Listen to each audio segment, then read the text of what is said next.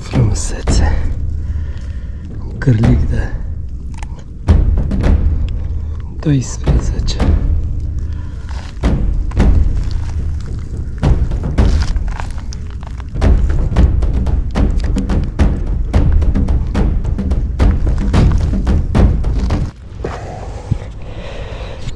Sperăm că soarele o să fie blând cu noi și nu o să dea în obiectiv să nu se vadă. Am să stau puțin mai așa să nu bată soarele, să vedeți. Deci primul lucru când ajungeți la apă, indiferent unde pescuiți, sondați, este foarte ușor, vă luați un băț, preferabil un băț mai rigid, eu am aici un heavy de 360, am o molinetă cu fir textil, da? E foarte bun textilul pentru sondat, da? Și plumbi, indiferent că aveți gripa, acesta sau un plumb de 30 de grame. Eu mi-am mai făcut o chestie, știți cum sunt că eu place să mai inventez, mi-am făcut chestia asta dintr-un plumb tot găsit la magazinele de pescuit cu găuri, în caz de este vegetație sau mâl, se mai agață prin găurile acestea și îmi dau seama mult mai ușor. L-am atașat de o grafă, că de multe ori, în, cum vedeți aici, sunt betoane, așa sunt și poate și în apă. Și atunci textilul o să-mi fie foarte ușor de tăiat și am pus vreo 20 de centimetri de un fir de 0,60 să țină la abraziune, să nu pierd plumbul. Deci aici atașez plumbul cu care sondez de firul principal printr-o buclă, cum aveți aici, eu pe fir acum nu am o buclă și am să îi fac un nod. Așa. Cel mai important lucru este să sondați și dacă pierdeți un pic din timp, da, știți măcar unde pescuiți, vă legați de o structură ceva și nu în ultimul rând, mai ales acum iarna, să să știți cam la ce adâncime pescuiți.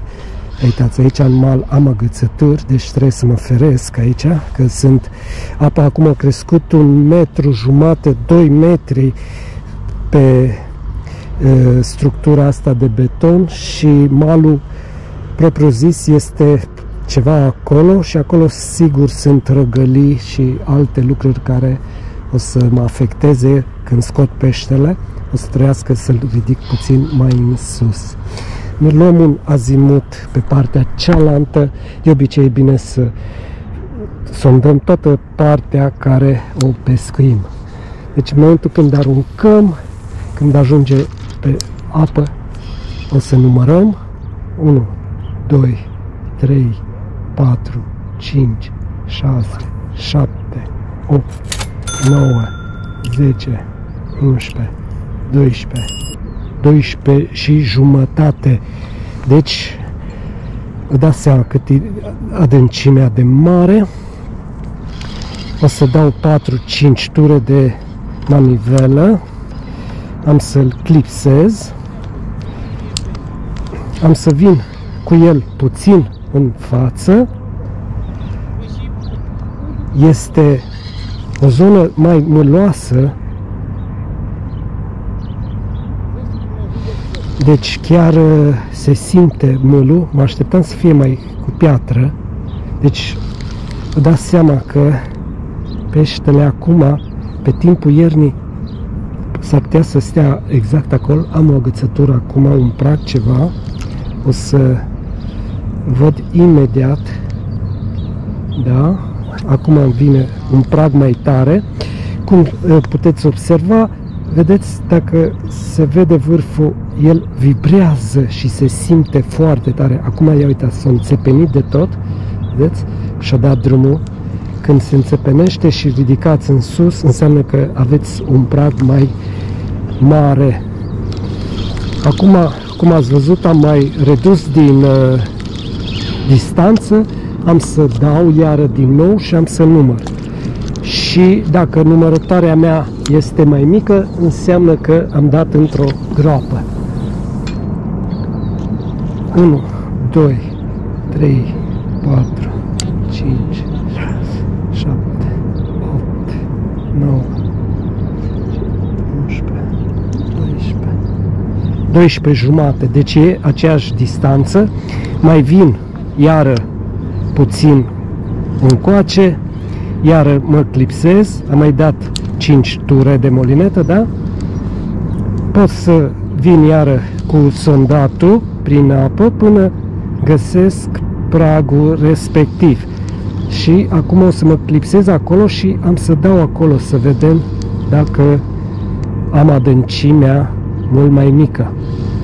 Și atunci vă dați seama unde coboară pragul. Gata, aici l-am clipsat, recuperăm și acum dăm până în clips și vom număra. Hop.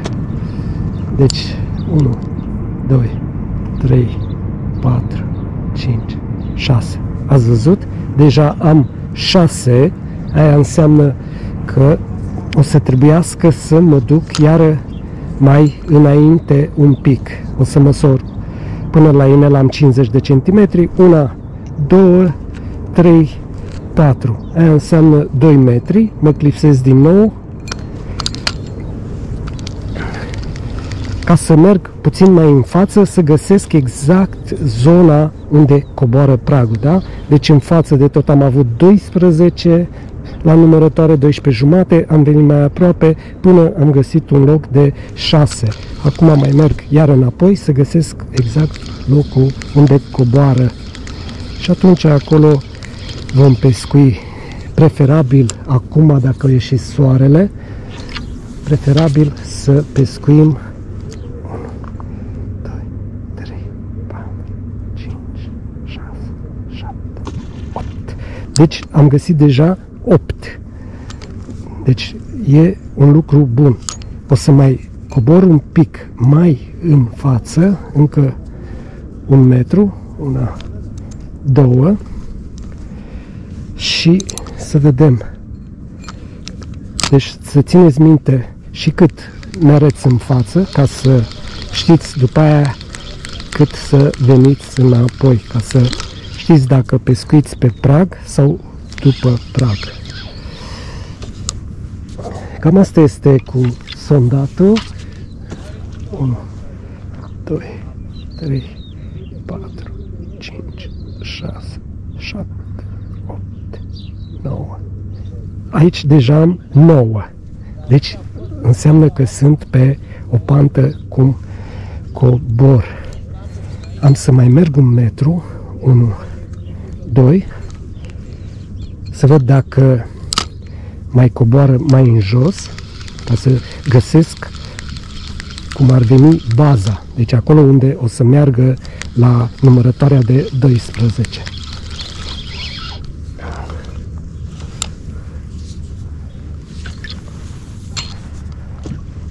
1, 2, 3, 4, 5, 6, 7, 8, 9, 10, 11.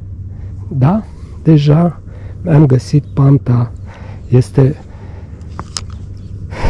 încă un metru, una și două. Și acum sunt ferm convins că o să găsesc și baza pragului. Deci m-am dus de la 6, 8, 9, 11 și acum sigur voi fi la bază, trebuie să număr 12. 1, 2, 3, 4, 5, 6, 7, 8, 9, 10, 11. 11 și jumătate. Deci Aici ar fi încă un metru. Atât.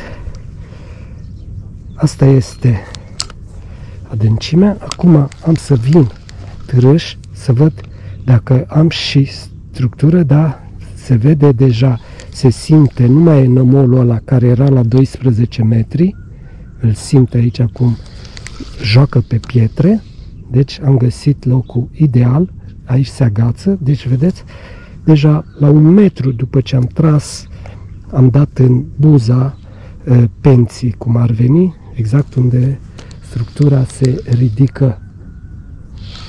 Bun, acum următorul pas este să mergem să numărăm distanța. Distanța se numără între două bețe, da?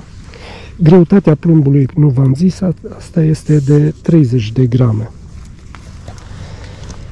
Bun, acum mă duc, fac distanța și măsor pe bățul de feeder. O să dau cu coșuleț pentru că fiind adâncimea mare, cu metodul e puțin mai periculos, mai ales acum pe timp de iarnă, apa e rece, nu se desface nada foarte rapid și atunci aș prefer să pescuiesc cu un coșuleț, să fiu sigur că duc nada până jos și din coșuleț mai pot să fentez, că dacă îți pești între ape, pun forfacul mai lung și pot să strâng nada să mi se desfacă mult mai repede. Asta cred eu că o să fie uh, metoda câștigătoare astăzi. Dacă nu, o să încercăm și pe metodă, o să vedem. În funcție de cum răspunde peștele, dacă răspunde. Partea cea mai urâtă este că mă uit în stânga și în dreapta și încă nimeni nu prinde. Deja e ora 9 și 4 minute. Încă nu s-a prins niciun pește, eu încă mai am de lucru. Deci haideți să facem bețele, să măsurăm și să ne apucăm de treabă. Avem acum o trăsătură.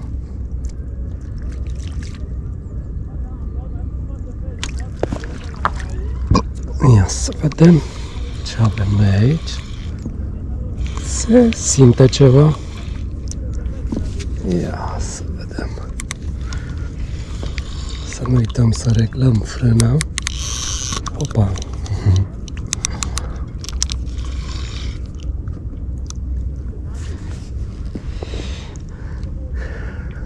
O luptă cu o mreană este tot timpul foarte spectaculoasă. Are o putere extraordinară. Stă în curent.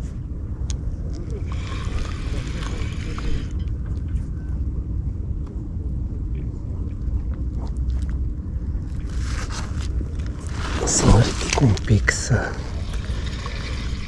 fiu sigur că nu mi se agață coșulețul pe fund.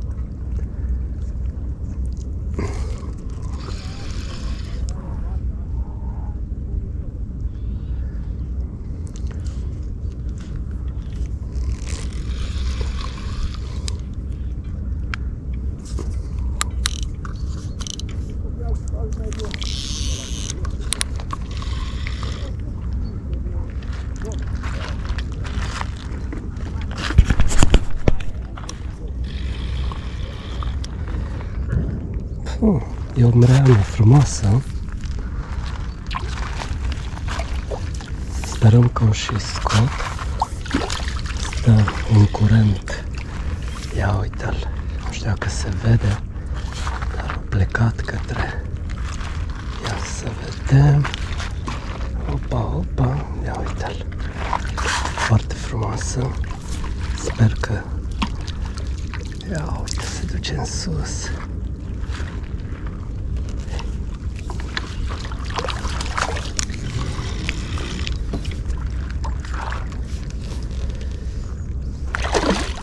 Opa! Am trecut prin cioc. Curentul puternic și chiar nu pot să-l... Ia uite, a intrat în cioc și a ieșit. Trebuie să intru un pic în apă, că e apa prea mică aici și nu pot băga miciocul. Atât, gata. Ia uite ce frumoasă e. Greană frumoasă. Chiar super. Ia uite-l. Frumusețe. Un cârlic de 12.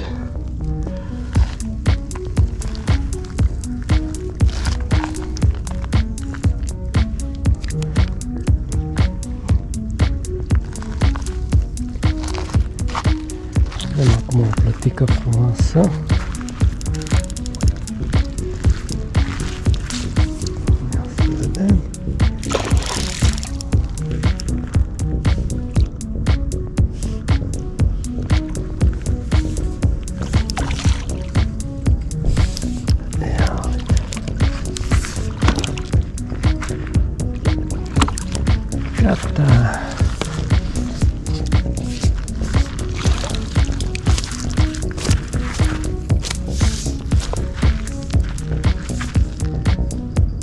Gata. Gata.